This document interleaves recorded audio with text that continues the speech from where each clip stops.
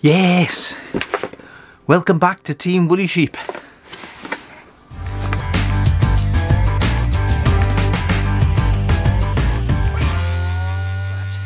I fancied, I fancied getting a plane, but I just got no room. Let me show you.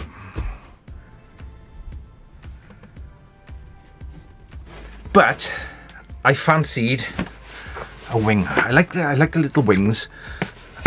You got your backpack, check your backpack on, and you're thinking, do I carry a plane or whatever? It's, gr it's great to just chuck a little wing on. I've had this little bonsai wing which I take, and it's it's okay, but it's a bit. Anyway, it, it, it works. It's a bit of fun, but you get what you pay for. Anyway, then I saw this and I've been fancying it. They're a little bit pricey, but they've come down in price. So this is a pure-blooded racing FPV wing, as they call it. Tough, durable, crash-resistant EPP airframe. They are pretty good. This is obviously the black foam and it's rock solid. And this kit, I bought the kit, no, I bought the plug and play version because it was on offer. I think I paid about £38 for it. But as you can see, it's got the ESCs, it's got the motor attached, it's got the servos in. Obviously, I've, I have to set it up uh, myself. But it's it's got the camera mount on the front and this magnet. So it's, you know, it's pretty versatile. But you've got a big battery bay. But these are well finished. They're really nice. They got carbon you can see carbon fibre, the wings are rigid. It's it's like a proper plane instead of a instead of a bit of hot wire cut foam, you, you, you know. So as you can see, it, it goes together, looks nice. This is quite small. As you can see, it's not very big, but it is such a nice plane. And I'm glad I've got it. So I'm gonna set it up, I'm gonna I'm gonna build it, I'm gonna make it FPV, and obviously I'm going to test fly it first. I always test fly line of sight and so if you're if you've been flying drones, quadcopters and you're not so clever at flying line of sight, flying a plane, you might want to get something like this that's pretty bomb-proof or or even the bonsai because you can fly this yourself and get used to the controls and how erratic they can be. Another thing I do is if you're in the countryside, go somewhere where there's bushes or somewhere so if you if it goes wrong when you throw it up in the air the long grass or the reeds where it'll come down and crash and won't be a problem it'll just bounce. But if it comes down hard on the hard ground then it's going to break things. So so whenever you're flying it for the first time find some some like a soft uh, landing area for it throw it up try to control it and if it does crash then at least you you haven't got a broken plane to fix. I'm telling most of you how to suck eggs if you want one go get one this is from banggood and it's made by sonic models and this is the mini ar wing and it's gonna be awesome this is gonna be my weaving in and out of bushes and trees. Oh. When I go flying, sometimes, you know what I mean, the drones are good. Oh, look at this. Say hello to Frank. Seven inch, that's coming soon. all I gotta do is put it together. It's already got servos in there, so it's literally glue the wings on. Right, I mean looking at the model and everything's glued together. They didn't supply any glue. So I got UHU Por. So if you do anything with foam, UHU Por, watch out, this standard UHU, this is UHU Por. This is foam safe. It's technically a contact adhesive. You can use it as a direct adhesive and let it go off, but it's better as a contact adhesive. adhesive.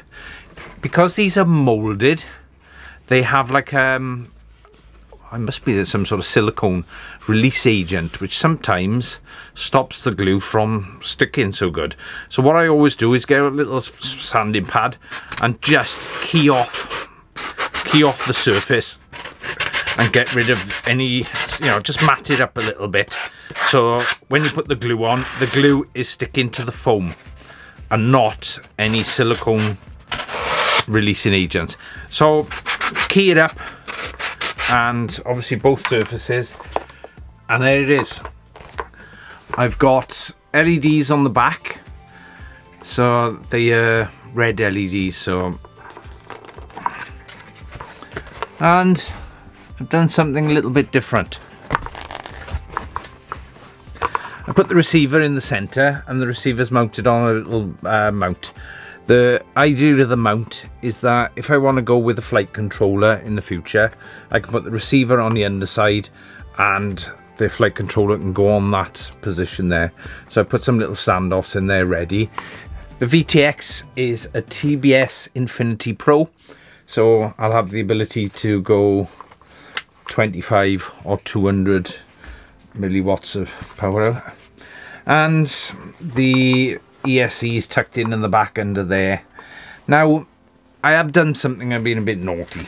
As you can see they've got the antennas coming out. I always tend to go with a 45 degree because as you turn in there's always one antenna is is vertical oh, and one is horizontal. So I do try to do it. It's not very often you fly flat but if you fly flat fine. Kept it simple. I've got a little RunCam in the front and it's I can unplug it it's detachable but I wasn't being naughty this is a 1806 a 2400 kV motor. Now historically I've had a few issues. Some of these motors, yeah they're right, they make a lot of noise, but they ain't got a lot of power. So I've balanced this out and I've added a 10 gram weight at the back there.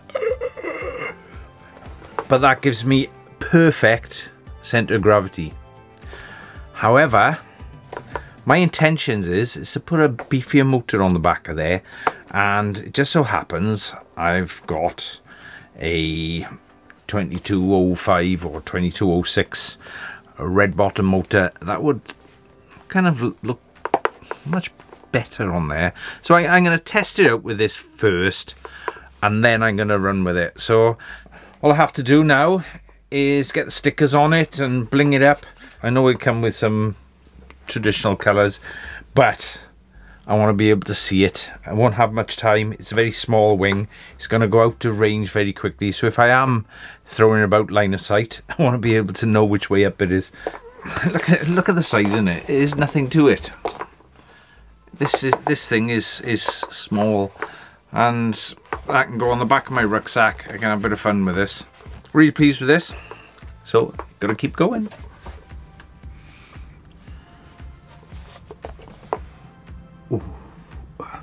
Ooh. Not bad if I say so myself. That's pretty cool. Let me show you the lights. So, like when you see it going up like that with the two. So yeah, I'm really pleased. And you're gonna say, oh, where'd you get that? Where'd you get that tape from, Jon? Where'd you get it from? I just got some fluorescent green, cut them into squares, I just very carefully stuck them on. So it's nothing, nothing special, but oh, doesn't it look nice? Fair play. Really pleased with that. That's me. It's not all about building them. It's about how you finish them off and design them. This is gonna fly. It's gonna be a handful. It need a bit of teaming and be good. Am I gonna put flight controllers on it? No. No. This is gonna be on the backpack. Fly it. Goggles on have a bit of fun, dodging around, no care in the world, cheap as chips. If I break it, I'll glue it back together and keep going. I'm going to run with the 4S batteries that I use for my quadcopters, so that'll be a 1300, maybe a 1500. It's going to be, it's going to be a bit of a, a handful, but it's part of the fun. So I'm, I'm quite pleased with that, but uh, I do like it. I put a bit of green flash on the front and the reason I do that is like I've been encouraging you to fly line of sight but if you are flying in line of sight and it's all black that will disappear it's really small you ain't got much presence and your brain will will lose it in, in the you know if there's a tree in the background so sometimes that little bit of green flash keeps it locked on. Your eyes locked onto it. No problem. You can glide in bring it down. But there's nothing worse than you're coming down and then you lose lose sight of it. And then something this small would be bumped straight in the ground and then you've got to go off looking for it. This is perfect for me to stick in my rucksack and just be just use and abuse it. And you know but kind of looks cool. Gotta make it look cool. And I'm really really pleased and as you can see be making use of my my cutter my Cricut Cricut or whatever the hell is called, my Explore Air 2, so I can cut out my own stickers. The batteries you got are what you should balance it to. So it's no good setting it up as per the manual and finding you haven't got any of those batteries. So I've got 1300 4S, it says 1000 4S, but I'm going to put 1300 4S and it's balanced out for 1300 4S so I won't have any problems I'll use my my batteries from my drone so that's probably the best way to go use what you got if it ever stops raining and we ever get out of lockdown, I'll go and take it up and give it a fly. But the ideal size to go on my backpack for when I walk down to the flying site. all I gotta do is fly it. Mm. So anyway, I hope you enjoyed that. That's my um, that's my Sonic Models Mini AR wing. And like I said, no flight controller, just gonna go go naked. It's gonna have a camera, FPV, just fly it, have fun. So we got a few bushes and trees that I can skirt around. So I'm gonna have a bit of fun with it. It's gonna be a little, but it's gonna be fast. It's gonna be absolutely fast. So, so really pleased with that. Can't wait. So thank you for watching T Wooly Sheep. More coming soon. Thank you for watching. If you haven't subscribed, have a go. See you soon. Bye. Oh, and before I go, have you seen the FrSky or Free Sky, the new X20 transmitter.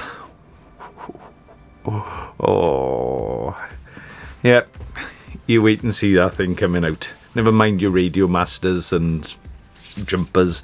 Wait until you see the Free Sky X20. Get onto Google, have a look at it. I'm going to be getting one and I'll be reviewing it soon.